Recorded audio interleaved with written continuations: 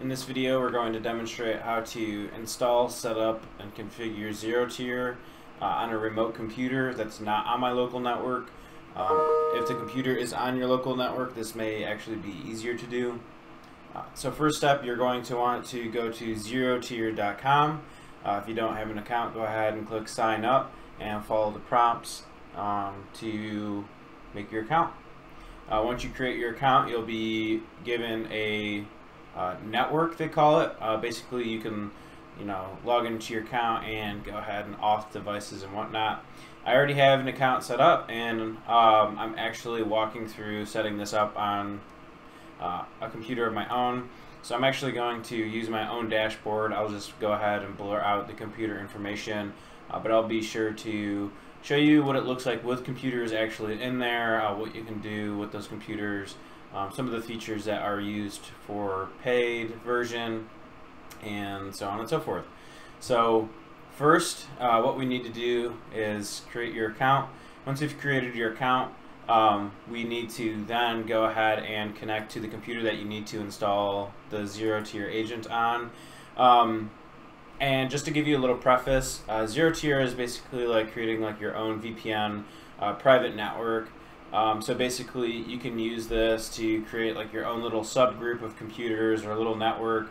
So let's say you want to connect to computers that are at a remote location, like a production plant, a family member's house, um, you know, or any type of remote location, or even um, in, like in your local network. Um, you can use it to you know change IPs and stuff like that. So you know, there's different use cases and whatnot. Uh, for my own example, I use it to remote into the computer to do work uh, and stuff like that.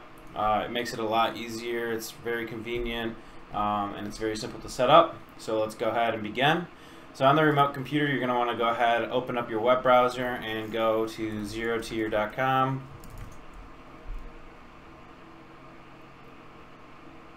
Uh, just to let you know, the delay in the computer is just because uh, this is a remote connection uh, to my own server. So I'm setting this up on a virtual machine um, and then I can remote into the actual virtual machine using RDP uh, once I get ZeroTier set up. So we'll go to the download section and then you'll want to go ahead and click on close. We'll click on Windows or the other operating system that you're going to install it on and then we'll go ahead and once it's finished we'll click on the actual downloadable agent. So then that way it'll go ahead and open the file. And right now it's just going through the prompts to install it. We'll just go ahead and hit yes.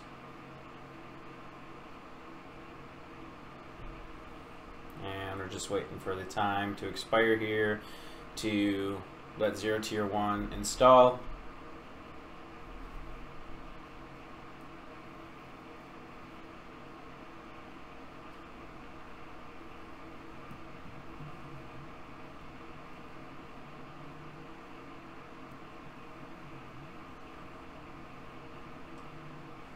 Alright, so it looks like it had finished installing. Um, that's one thing with ZeroTier that it's pretty much like a silent install after you actually start it. So um, you'll see that it's installed by the little icon down here, or you can go to the start icon and you should be able to see it within the recently added. If you don't see it there, just go to Z and you should see it in ZeroTier. Alright, so since we do have ZeroTier open in our task tray, let's go ahead, wait for the weather prompt to go away and we'll go ahead right click on it and you want to do um, join new network. So this is asking you to enter a 16 digit network ID to join. Um, so basically this is after you set up your account.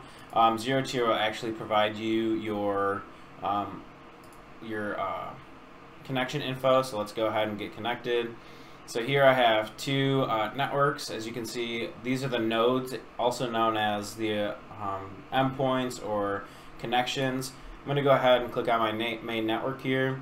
Um, and this is blurred out for you, but for me, this is showing some type of network ID. Um, and this is the network ID that you want to provide to your um, endpoint. So we'll go ahead real quick and just copy this, and I remembered I actually can't copy paste uh, from here. I can try it, but yeah, it's not going to work. So I'm going to have to actually type this manually.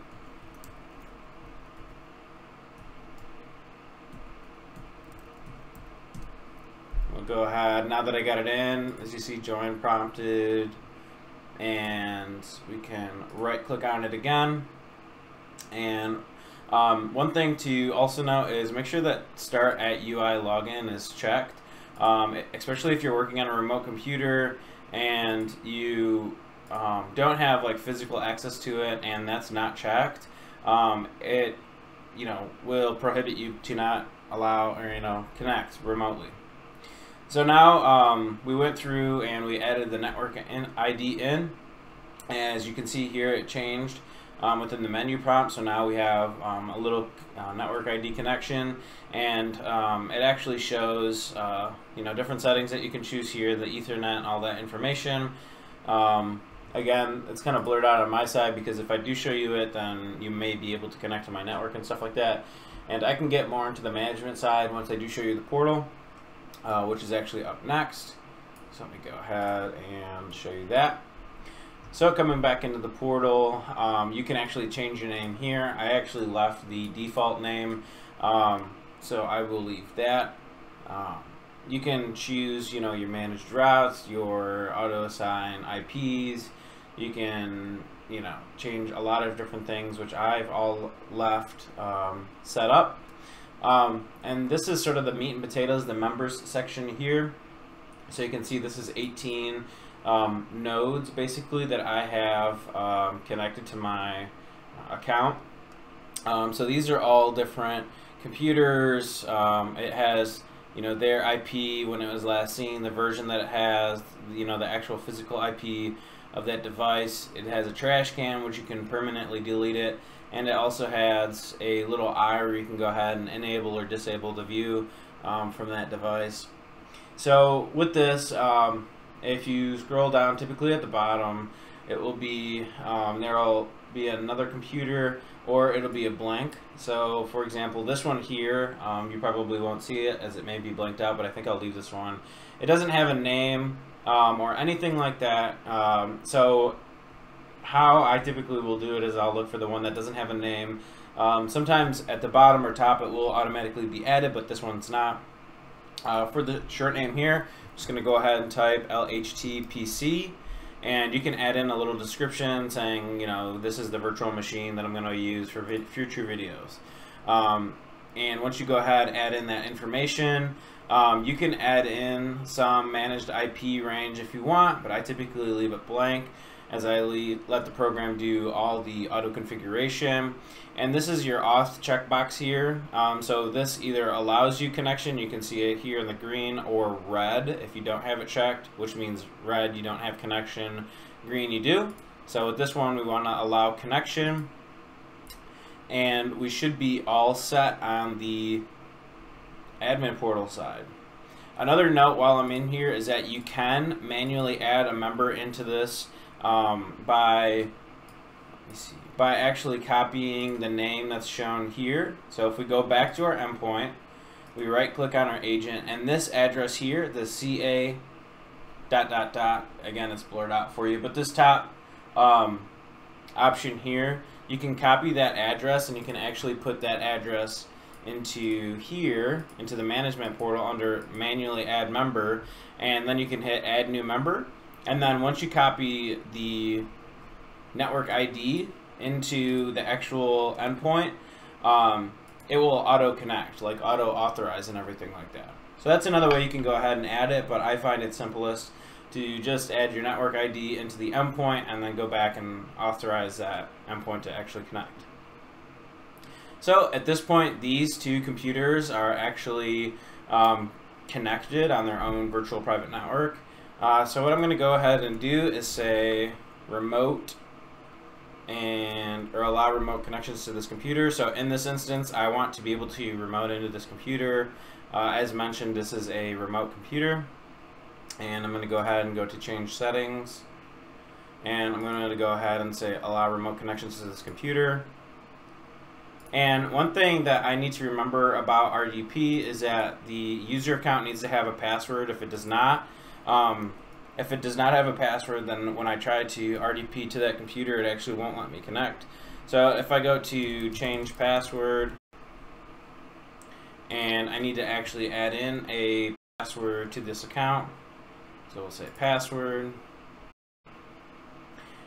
and we'll do add.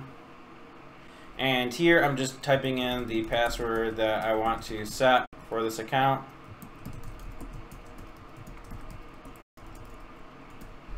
And for the password hint, I'll just put hint. And we'll do finish. Alright. And as you can see, I'm already using a remote desktop connection, but we'll just go ahead and do um, another computer. So I named that one, actually didn't name that one. So if I go back to our remote session and I come down here to um, our system, we can actually grab the name here, uh, this odd name as what it is now. I'll leave that and I can actually make another video on how to rename a computer. Um, but I'll go ahead and show you how to, and I actually do have the um, desktop name pre-filled here. Um, one thing to note when you're actually remoting into um, uh, a computer when you have just a local account set up, you want to make sure that you're um, targeting just that local account. So if I go under shell options and do uh, username, you can actually just do period backslash and then the account name. And then you'll go ahead and click connect. And once you do, it'll ask you for the passwords, which we, you can set, which you had to preset. Um, if you don't have a password on account, you won't get this far. So if you don't have a password, go ahead, set a password, and then try again. Uh, but this is actually our good to go screen here. This is a certificate authentication, uh, which we know that this is our own computer, so we're going to go ahead and connect. And there we go. So we now we have ZeroTier open. This is that computer that we were working on before. I can verify the desktop name here and we should be good to go remote into this computer at any point. Um, and one thing that I would change is changing the sleep schedule. So power and sleep settings.